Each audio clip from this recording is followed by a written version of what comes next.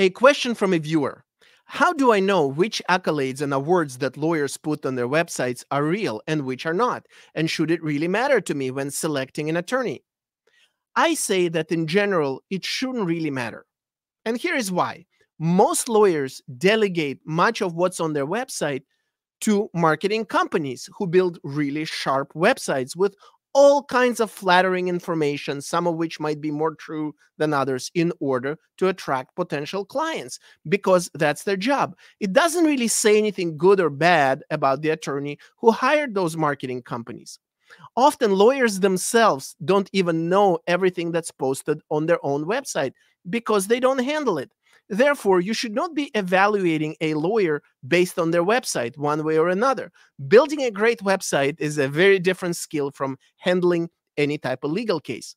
Also, some of the best lawyers that I have ever known have a very modest website, and some of them don't even have a website at all. They don't care. They're not concerned about their online presence, and they often don't even have time to think about it work comes to them from all kinds of directions maybe primarily from referrals from other attorneys and uh, they're super selective about the cases they take probably only taking 5% or less of the cases that come into their door.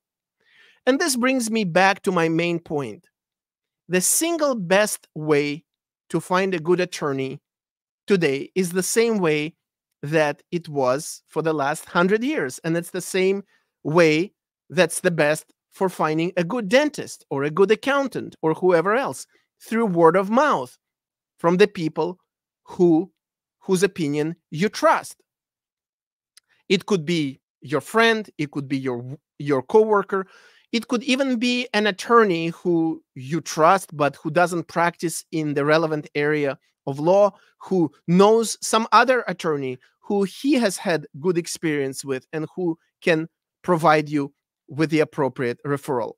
Yelp and other review sites are probably second best, but you got to be careful and you got to watch for fake reviews because if someone sounds too good to be true, they might just be. Now, one more thing. Just because someone won a $50 million case and put it on their website doesn't mean that they're the best lawyer for you. You need to know that many of these lawyers who get these huge awards they focus very narrowly on two or three cases that they handle that are bigger than other cases, while often neglecting dozens of other cases that they handle. And I've seen it so many times. A potential client calls and says, Hey, my lawyer doesn't return my calls and my emails. My case hasn't moved in a year. I don't know what's going on. It looks like he doesn't care. And then I ask that potential client, who is your lawyer? And when I hear the name, I'm thinking, how is this possible? This is one of the most famous lawyers in the community who has such an impressive reputation. This happened many times because of this reality that these lawyers can only focus this much on one to three cases at a time, at most, potentially at the expense of many other cases.